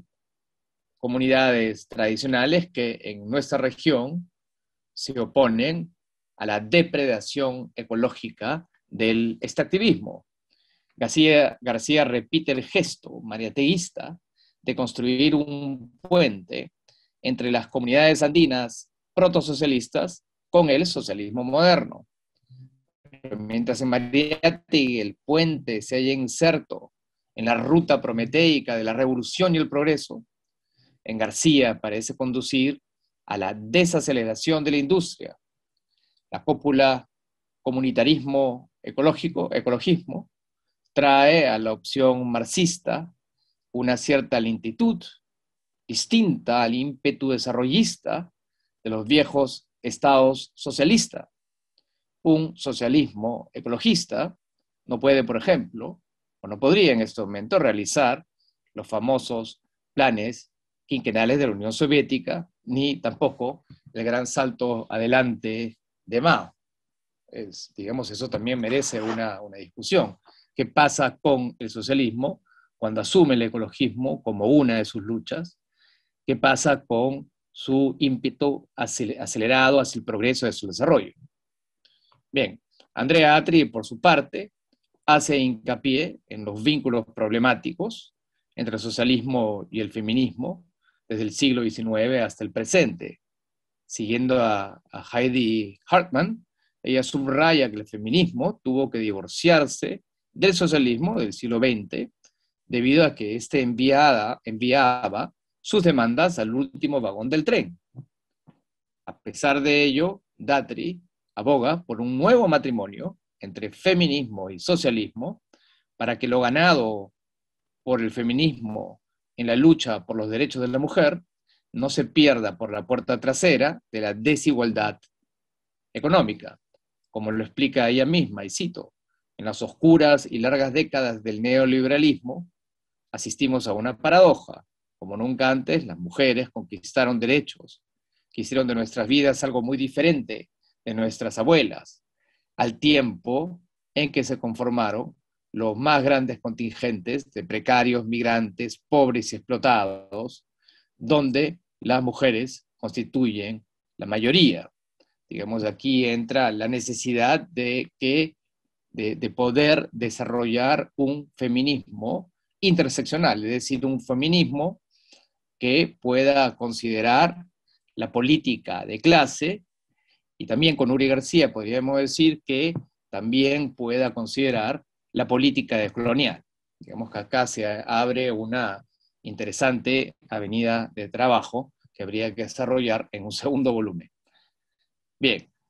los ensayos de García y Datri son importantes para trazar un futuro socialista. Sus autores hacen sentir la imperiosa necesidad de que el socialismo del siglo XXI esté a la altura de las demandas contemporáneas, a saber, la urgencia ecológica, la emancipación de la mujer y la búsqueda de un modelo de progreso. Termino con un balance general. El poder de las preguntas consigue transmitir no solo la utilidad, sino también la necesidad del marxismo para pensar la realidad social y los procesos históricos del Perú y del mundo todo lector que transite sus páginas saldrá mejor o un mejor mapa cognitivo, para usar la expresión de Jameson, sobre su ubicación en los complejos circuitos del capitalismo global. El libro, el libro también demuestra y el rigor y la apertura de un pensamiento que ya no se encuentra implicado al proyecto comunista. El lector no iniciado se llevará la grata sorpresa de que el marxismo no es un dogma ni una ideología, sino un pensamiento en movimiento, como decía Jacques Lacan sobre la obra de, Sigmund Freud. Pero si bien el marxismo, entre comillas, postcomunista de la realidad, también puede apartarse de la afirmación política. De allí que este libro se halle un poco lejos del quehacer de Lenin, de las innovadoras soluciones de los siete ensayos de Mariate. Estas políticas muy claras en el poder de las preguntas, pero sus preguntas son indagaciones, exploraciones, que se adentran en las fisuras del realismo capitalista, es decir, del realismo que nos hace pensar que el capitalismo puede ser terrible, horrible, excluyente y todo eso, pero a la vez eh, no podemos pensar en un sistema alternativo. Eh, estas indagaciones, digamos, se adentran en esas fisuras de esa manera de pensar y desde allí participan en la incipiente búsqueda contemporánea de una nueva política de emancipación. Bien, gracias. Muy bien, Juan Carlos, muchas gracias por, por el comentario. Eh, reseñas bastante bien la mayoría de ensayos eh, y también logra destacar algo que cruza todo el libro, que es esta relación entre la reflexión que podríamos llamar académica, universitaria, con los imperativos de la práctica política, porque efectivamente somos varios los autores que dentro de este libro tenemos también militancia política, tenemos actividad eh, política concreta, pero que eh, estamos intentando justamente eh, reconstruir puentes que en algún momento se rompieron entre la reflexión teórica marxista y la propia práctica política que han hecho que mucho del pensamiento creativo original del marxismo quede recluido en círculos universitarios, eh, a veces asfixiados por los propios rigores de la carrera profesional, de publicar en revistas indexadas, hablar en, determinados congresos, eh, pero no estando del lado de la propia lucha de la clase trabajadora, que justamente requiere estas herramientas teóricas para poder eh, delinear bien su ruta de liberación, saber bien eh, por dónde es que deben ir eh, las, las, luchas, quiénes son los enemigos o los adversarios, eh, cómo ponderar lo que son victorias o derrotas, extraer aprendizajes. eso es algo que hizo que el marxismo sea lo que fue y que lamentablemente en las últimas décadas encontramos ese divorcio. Este libro, muy humildemente, contribuye con un grano de arena, digámoslo así, en la reconstrucción de esos puentes entre la reflexión intelectual y la práctica política, que está además en el, centro de la, teoría marxista. Eh, dicho eso, no, hemos tenido preguntas en la transmisión, eh, lamentablemente, y, para bien también, porque el tiempo no, nos hubiera alcanzado para poder responderlas adecuadamente.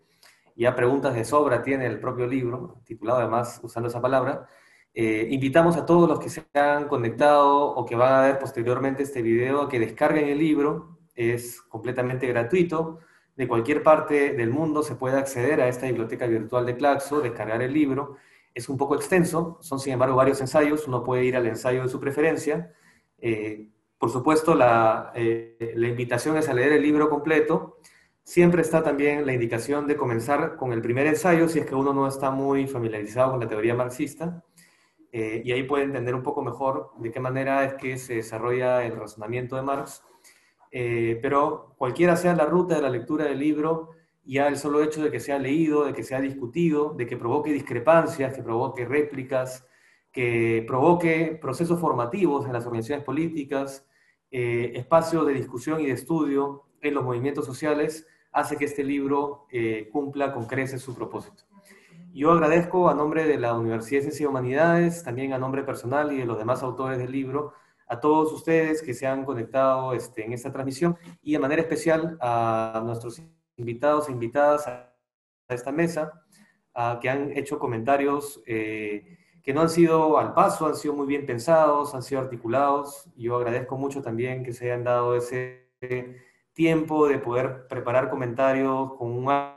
alto rigor que siguen alimentando eh, este libro, que, finalmente va a seguir creciendo en la medida en que el debate se desarrolle un agradecimiento especial a, todos ustedes, este, colegas, compañeros, compañeras, que se han conectado desde México, desde Argentina, que han dejado importantes labores de lado para esta presentación de Cosa Nueva eh, y que se presenta renovado. Y eh, con esas palabras ya cerramos esta transmisión con la esperanza de que podamos volver a encontrarnos de repente ya en momentos más felices, sin estar lidiando con esta terrible pandemia, ni con esta, esta crisis humana que, atraviesa todo el mundo y muy fuertemente a nuestra región, y podamos eventualmente compartir cara a cara, encontrándonos nuevamente en la ansiada presencialidad, que esperemos que sea en el futuro una presencialidad socialista, no una presencialidad eh, capitalista que nos lleva a la crisis en la que estamos. Permítame que, que confiese por aquí mi, mi, vocación política y mis expectativas íntimas de transformar esta sociedad. Eh, y en la que creo que coincidimos además. Muchas gracias nuevamente y hasta la próxima.